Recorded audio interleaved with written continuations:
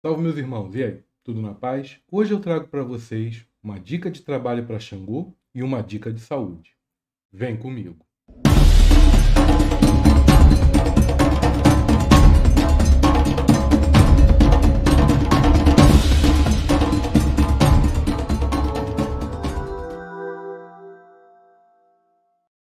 E aí, meus irmãos, tudo na paz? Como é que vocês estão? Aqui é tudo caminhando, desculpem a ausência, mas enfrentando alguns problemas. Quem sabe algum dia eu faço uma live e falo um pouco mais disso. Mas hoje eu vou trazer para vocês uma dica para prosperidade, para pedido de justiça e também uma dica de saúde. Não vou enrolar muito vocês no vídeo não. Eu tenho observado muito que a... quando eu vou pesquisar alguma coisa, aparece uma pessoa, ela fala uma hora antes de entrar no assunto. Eu quero ser objetivo, mas claro. Então, deixem aí nos, nos comentários se vocês acham que ficou bem explicado, tá bom?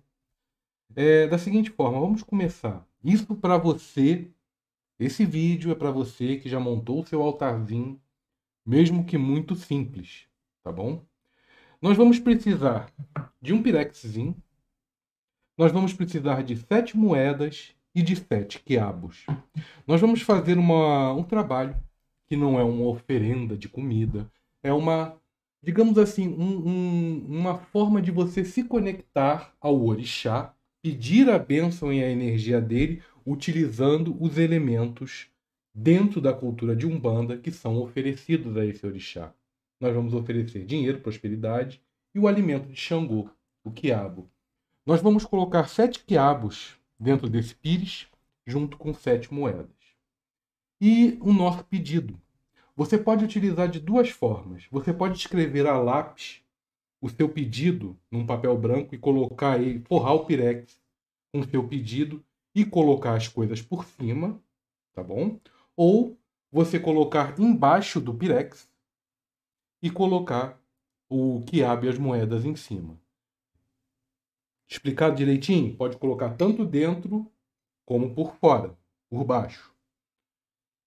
Colocou no altar as moedas. Sugiro que coloque as moedas sempre com o número para cima e em círculo.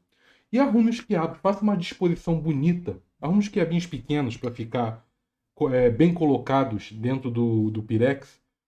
Para ficar uma coisa bonita, uma coisa de bom gosto que você olhe e te dê satisfação por aquilo que você está fazendo. E aqui você pode pedir prosperidade, pode pedir abertura de portas de emprego para Xangô, como pode pedir justiça, como pode pedir também é, resolução de processos que estejam na justiça. Mas lembrando, muito cuidado ao pedir justiça a Xangô. Xangô é justiça, não é simplesmente trazer uma, um achismo, ah, eu estou certo e pronto. De repente você pode não estar tá certo, pedir justiça para Xangô e a justiça acontecer e você não ser o beneficiário. Tá bom? Feito isso, entrega pode acender uma vela marrom. Não tem uma vela marrom, você pode acender uma vela branca. E no ato de fazer a entrega com a vela branca, você pode estar vindo a fazer os seus pedidos, fazer a sua conversa, a conexão com a energia do orixá Xangô. E, João, qual é o melhor horário? Como eu gosto de, sempre de utilizar os horários onde a energia positiva é mais abundante, eu gosto das 18 horas. Às 18 horas é sempre um bom horário, às 21 também, mas às 18 horas fica sempre sendo muito bom, por causa da massa energética positiva ao nosso redor em volta desse horário. Hum, quantos dias eu deixo? Olha, eu costumo deixar três dias no máximo, depois desses três dias, você pode lavar o pirex, guardá-lo. Você pode pegar as moedas e utilize elas, utilize esse dinheiro que você fez uma oferenda para algo bom para você, para um alimento, para um pão, ou você pode dar para uma pessoa que precisa. Os quiabos você, aquela energia do quiabo já não está mais ali. Você pode pegar os quiabos, jogar no lixo normalmente, tá bom? Hum, dia para ser entregue. Fica a seu critério. Fica a seu critério. O horário, já dei uma dica de horário. Costumo deixar três dias. Qual é a dúvida que costuma aparecer mais? Hum. Deixem aqui nos comentários que eu respondo. Ah, a dica de saúde. A dica de saúde.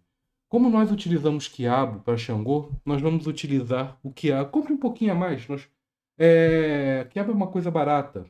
A água de quiabo. A água de quiabo ela tem muitos e muitos bons benefícios que nós podemos nos utilizar deles. Ajuda a emagrecer. Hum. Controla um pouco o açúcar no sangue. Eu pensei que ia ser pior o gosto. Estou tomando aqui pela segunda vez. Estou tomando geladinho. Da primeira vez que eu tomei, eu não. Eu bebi, não, não tinha deixado tanto tempo de molho quanto eu deixei aqui agora. Não cheguei a perceber o gosto, mas hum, tá, até, que, até que não é ruim. Pensei que ia ser mais gosmento ou amargo, mas não é não. Melhora o intestino. Ajuda a reduzir um pouco do estresse para você que está numa correria do seu cotidiano. Hum, ajuda também para mulheres grávidas, para você que está, está gestante, ela pode, ela vai auxiliar na boa formação do feto, auxilia também na questão dos ossos, porque quiabo ele é rico em cálcio.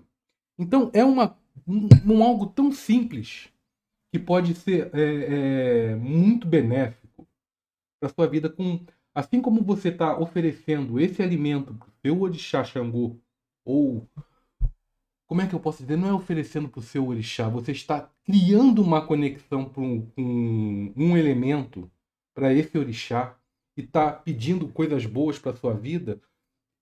O que sobrou, que você não utilizou no trabalho, você pode utilizar para melhorar a sua vida também. Você fez uma oferenda e você está utilizando um elemento desse orixá, sabendo as funções dele para sua vida.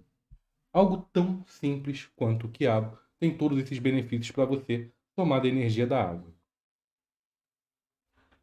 Espero que tenha ficado bem é, é, explicado, espero que tenha sido elucidador. Hum, dúvidas, deixem nos comentários, tá bom? Muita paz, muito axé e até o próximo programa. Fiquem na paz.